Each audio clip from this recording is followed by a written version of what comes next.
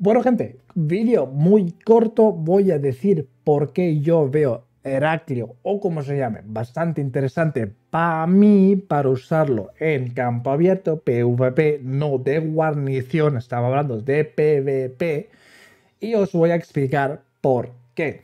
Y bueno, nada, bienvenidos a este vídeo corto porque estamos en pleno KBK y tenemos que terminar la fortaleza. Estoy matando bárbaros a full, por eso me da casi tiempo a subir vídeos.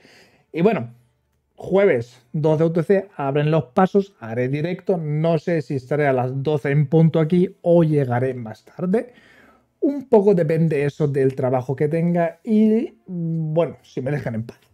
Bueno, Heraclio, Heraclio, porque yo lo veo interesante para PvP. Vamos a comenzar un poco con las habilidades de PvP que yo veo interesante. Y primero, vamos al 1 en el 1 pone un poco que hace AOE hasta 5 tropas, factor de daño 1200. Eso lo veo, uy, se me ha ido, eso lo veo bastante poco. O sea, no es un comandante que te va a hacer mucho daño, pero tampoco lo veo como esa o para utilizarlo. Yo lo veo un poco como un comandante que es tanque. Y luego vamos a un factor de daño de escudo potente. Ahí ya comenzamos la cosa que me interesa a mí para llevarlo contra Jano.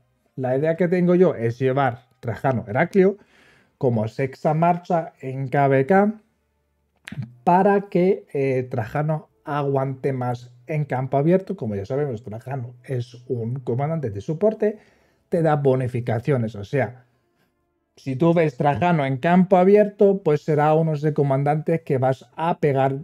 Viéndolo lo pegas. Ahí lo pegas. Pero bueno, si aguanta más, más bonificaciones o más soporte te va a dar y por eso lo tengo pensando llevar con este comandante, que es Heraclio. Y aquí vemos que factor de daño de escudo potente, llegando a 5, tendrá 1200. Ese escudo potente está interesante porque si está Alex a tu lado o, otro o lo llevas con un comandante que también tiene escudo, que tiene esa habilidad, ese escudo potente no va a eliminar al otro escudo. O sea, será escudo potente, terminar escudo potente, va, se activa el otro escudo y eso es lo que también lo hace interesante. Si no lo entendió mal, igual lo entendía mal y me lo escribís en el comentario, pero lo entiendo así yo que no elimina al otro escudo, sino termina este, activa el otro. Lo entendí yo así, pero bueno. Seguimos con la siguiente habilidad y es esto también que daba yo bastante interesante aumenta la salud de la tropa de este comandante un 30%. Eso no es de guarnición, eso se activa también en campo. O sea, en PvP esta bonificación de salud se activa.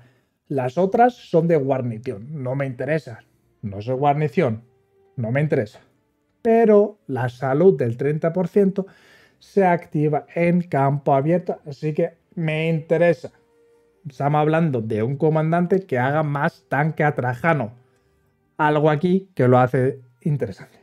Luego está, bueno, si lo quieres usar de guarnición, ese contraataque del 30% es brutal.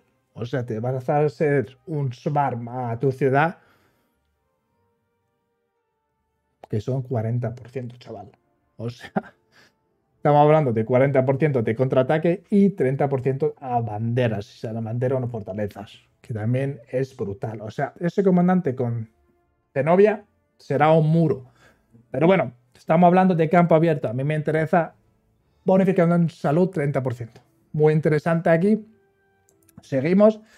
Aquí ya también tenemos factor de daño potente, pero aquí ya es poquillo. O sea, disminuye. O sea, teniéndolo a nivel 1 son 200 y si es guarnición 300. Es un poco menos, pero igual te da ese escudo potente, que está también potente ese escudo, mucho escudo potente por aquí. Pero bueno, algo que también va a hacer tu marcha más tanque aún. Seguimos. Luego está esto, esto ya solo, eh, viéndolo así, solo es para, para guarnición, pero luego tenemos la pericia.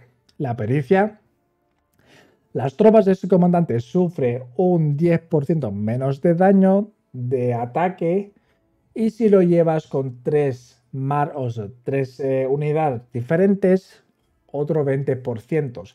Esto se suma, son un 30% menos de ataque, que está súper guapo. Como ya sabemos, Trajano lo tienes que llevar con tres eh, unidades diferentes, este también, así que perfecto, ¿no? Tienes que llevarlo sí o sí, este también, y además te da otro 20% más de reducción. Perfecto. Y bueno, prácticamente es eso. Yo quiero llevarlo a Trajano porque trabaja, tienes que llevarlo con tres unidades diferentes. Este también más te da 30% de reducción de ataque, más escudo potente, más la salud del 30%. O sea, va a ser una marcha muy tanque y va a aguantar más en campo abierto. Y esa es un poco la idea que quiero yo. O sea, en resumen, yo lo quiero llevar contra Jabano porque este Heraclio será un muro. Por eso será muy útil en campo para que mi Trajano aguante más tiempo. Y prácticamente es eso, gente. No hay más. Yo lo veo un comandante bastante útil en PvP, pero habrá que esperar un poco los tests que Chiscool seguro va a hacer. Así que, gente, nada. Esto es, prácticamente, esto es jueves 12 UTC habrá ese paso abre. Espero, espero que me dejen en paz en el trabajo y pueda comenzar a las 12 UTC.